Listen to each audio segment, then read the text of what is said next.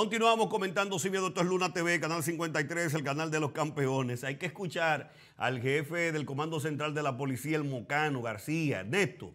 Ernesto hablando de que no hay que preocuparse, ellos están en las calles, pero no se ven. No se ven, y usted me excusa, eh, distinguido general, pero lamentablemente Santiago se está quejando de todo lo que está sucediendo, robos, atracos, eh, disparos, muertes en Santiago entre bandas.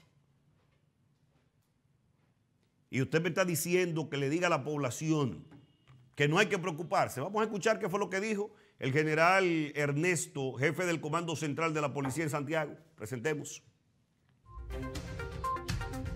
Con relación a los patrullajes en los barrios, recientemente algunos jóvenes que se han enfrentado a tiro en estos barrios marginados de nuestro Santiago, ¿cómo le preocupa al director regional Cibao Central esta situación?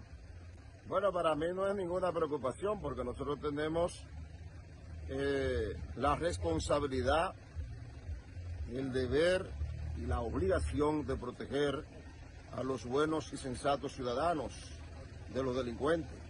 Y lo vamos a enfrentar, lo vamos a seguir enfrentando en, cualquier, en el terreno que ellos dispongan.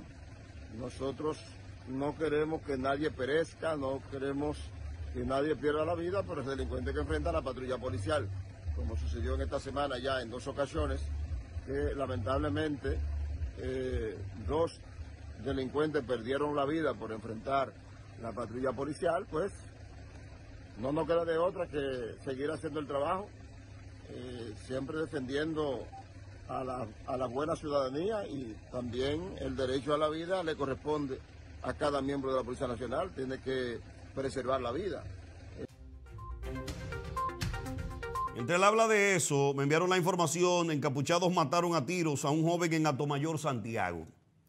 Encapuchados que se desplazaban en un vehículo mataron a tiros en la noche del lunes a un joven en el sector Atomayor, en la zona sur de esta ciudad. No descarta que el motivo fuera por ajuste de cuentas según las versiones en la barriada. 30 disparos le metieron al cuerpo de ese muchacho. Y no hay que preocuparse.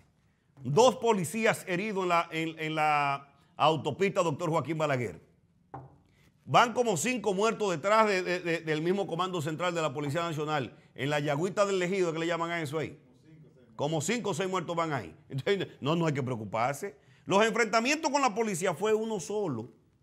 Un solo enfrentamiento que dice él de la policía, y creo que no fue en Santiago. Entonces, eh, señor general, por Dios, tiene que llamarle a preocupación a usted y a la sociedad en sentido general, porque el problema es que son entre bandas que se están acribillando a balazos entonces las bandas son las que tienen el control de Santiago. Tiene que ser que las bandas tengan el control de la ciudad de Santiago, porque si usted me está diciendo a mí que no hay que preocuparse, porque el que se enfrenta a la policía sí se enfrentaron dos. Pero lo que está sucediendo en la Yagüita del Ejido, lo que sucedió en Atomayor y lo que sucedió en la autopista Doctor Joaquín Balaguer, no, eh, llama preocupación a, a, la sociedad de Santiago. Y los robos y los atracos también. Carlito, hay un video que lo volamos, que está en el número 5 es el caso de los policías que se fueron a la trompa. Oiga cómo es que está la cosa. ¿Qué fue lo que pasó? No lo sabemos. Pero entre ellos mismos armaron el desastre. ¿Qué fue lo que pasó? No lo sabemos. Porque nos enviaron este video y nosotros lo vamos a presentar. Hay que poner orden. Mire cómo andan eh, eh, eh, estos asuntos dentro de la institución. Afuera en la calle se toparon y no sé qué fue lo que se dijeron y se fueron a la trompa. Presentemos las imágenes, Carlito.